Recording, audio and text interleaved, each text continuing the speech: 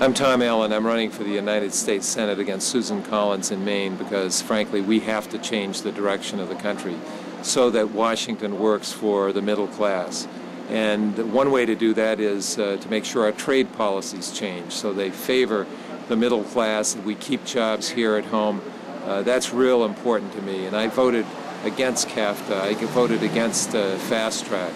Uh, and I voted against the Peru agreement because I know they weren't right for Maine when you look at these other issues, uh, the Employee Free Choice Act, that's very important to allow people to organize in the working place. You know, now, uh, now I'm being attacked, as other Democratic Senate candidates are around the country, for supporting that act. Uh, but that's all misleading information. We're on the side of the workers. Senator Collins is on the side of Walmart.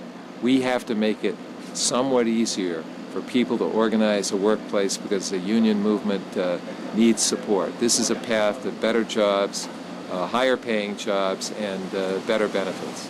Well, nothing is more important than person to person contact in politics, so I'm dependent on labor union members and other individuals all across the state of Maine talking to their friends and neighbors. And sometimes that involves leafleting, sometimes it involves making phone calls, always it involves learning enough about the issues so you can talk with your friends and neighbors. I mean, that's what politics is all about. If we're going to change this country, people have to vote for change. That's what my campaign is about because I think the super wealthy and the multinationals have had enough breaks over the last eight years. It's time to focus on on uh, middle income Americans and frankly people who would just like a chance to be in the middle class.